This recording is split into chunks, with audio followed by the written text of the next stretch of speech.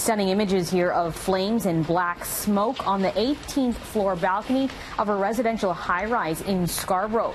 Police say a barbecue caught fire around 8.30 tonight at Huntingdale Boulevard in the Pharmacy in Finch area. Windows were smashed in the unit where the fire took place, and the balcony above the unit was also damaged. Streaks of charred black brick could be seen on the side of the building. Residents didn't have to leave the building, though some did on their own accord. The fire was soon put out, and officials are still investigating the incident. We had here was a second alarm fire that originated on the 18th floor balcony.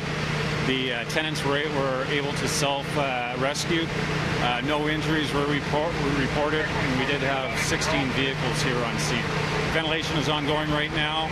Uh, crews are uh, overhauling, and once it's deemed to be safe, we'll be letting the tenants back in. A TTC bus was brought to the scene for shelter for concerned residents who left the building due to the blaze.